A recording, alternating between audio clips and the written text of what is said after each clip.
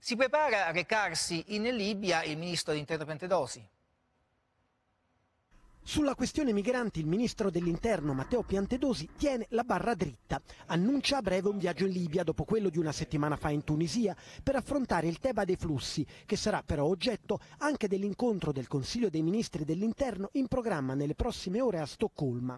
Spiega poi che la Geo Barents, la nave di Medici Senza Frontiere con 237 migranti a bordo, andrà alla Spezia nell'ottica di un sistema di rotazione dei porti.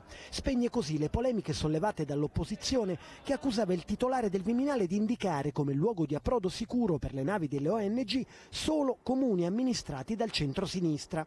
La Spezia infatti è guidata da una giunta di centrodestra.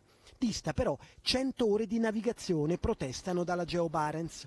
Loro si lamentano della percorrenza, ha risposto Piantedosi, noi di questa coincidenza astrale. La presenza delle ONG, insieme alle condizioni climatiche, fanno ripartire i gommoni dalla Libia. Sulla rotta per la Spezia la Geo Barents ha però ricevuto una chiamata di soccorso da Alarm Phone.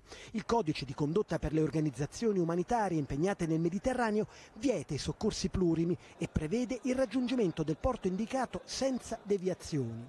L'ONG invece, avvisate le autorità italiane, si è diretta verso la zona SAR. Prima di raggiungerla, hanno fatto sapere dalla nave, abbiamo incontrato un'altra imbarcazione in difficoltà ed effettuato il salvataggio. Quindi, sul luogo della prima segnalazione, un altro intervento, 107 migranti fatti salire a bordo. Tre operazioni in sequenza, un comportamento, spiegano dal Viminale, che sarà oggetto di valutazione dopo lo sbarco. E con l'Austria si riapre